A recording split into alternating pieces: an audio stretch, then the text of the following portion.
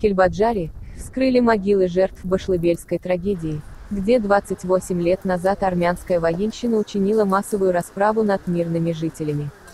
Кадры вскрытия могил представил телеканал ИТВ. 18 апреля 1993 года армянская военщина совершила очередное варварское преступление против азербайджанского народа, учинив массовую расправу над мирными жителями села Башлыбель, Кельбаджарского района.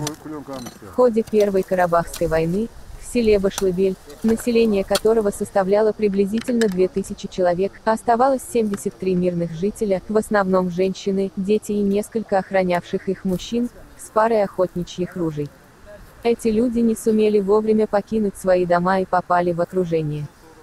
2 апреля жители попытались выйти из окружения, но безуспешно. Девять человек были убиты на дороге, пятеро взяты в заложники. Другие, пытаясь защититься, отступили в горы. В течение нескольких дней они скрывались в расположенной здесь пещере Порда. 18 апреля армянские военные, выяснив их местонахождение, напали на мирных жителей. Той ночью 14 человек были взяты в заложники, 18 убиты. Остальные сумели укрыться в других пещерах.